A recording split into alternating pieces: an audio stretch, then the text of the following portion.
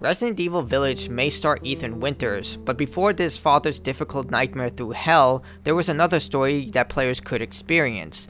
A young maiden who died before the events of the core game, and although her life ended, it's important to remember her story. She was one of many victims of House Dimitrescu that Ethan would avenge. This is the story of the maiden. The Maiden was a PS5 exclusive demo released to promote Resident Evil Village. It starred a young woman trying to escape the castle after being thrown in a dungeon. A lone letter from a previous survivor being her only hope to escape explains the way out is through a ladder.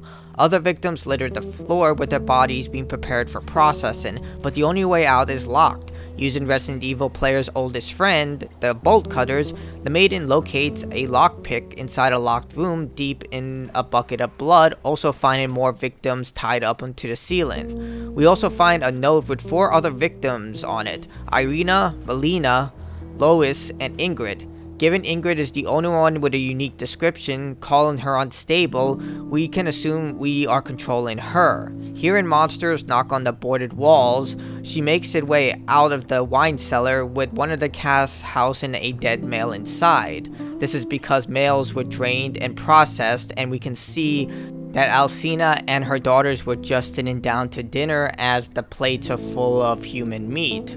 Finding her way out, the maiden finds a very old note from 1958, noting that those thrown in the dungeon after displeasing the lords of the castle were never seen, with the writer afraid for her life after she opened the window sending cold air into the room after the daughters complained about it being too hot. Fearing for her life, the letter ends with her frantically wondering what to do before she's thrown in the dungeon. Climbing the ladder and leaving the dungeon, we find the maiden's necklace, confirming she was taken from the village and thrown in the dungeon. Navigating the halls, we get a glimpse of Lord Alcina and find the maiden's clothes burning in the fireplace, meaning she was recently tossed down there.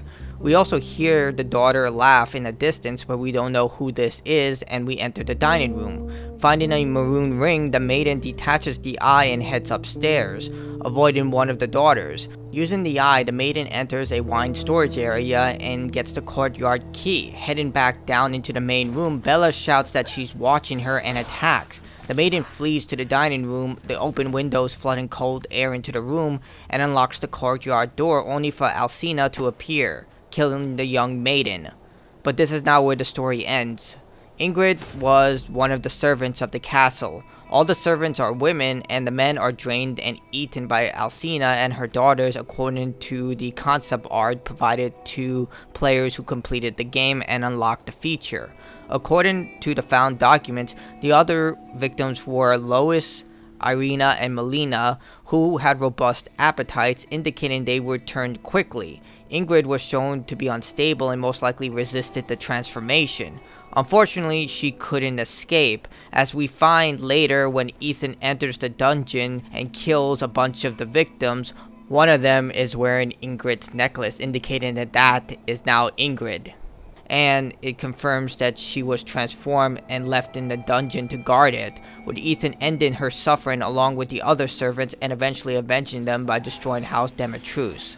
So that's the story of Ingrid, the one of many maidens who were turned into these horrible servants to serve under House Dimitrescu. Ethan indirectly was able to avenge their deaths and kill the vampires, ensuring that they can rest easy. However, once you leave the castle, you find out without Al Alcina, the victims would simply wander around, even leaving to the village and attacking any survivors they found. Regardless, it's a horrible fate for someone who just tried their best to serve people they thought would protect them, but in reality, they just used them for their own personal need.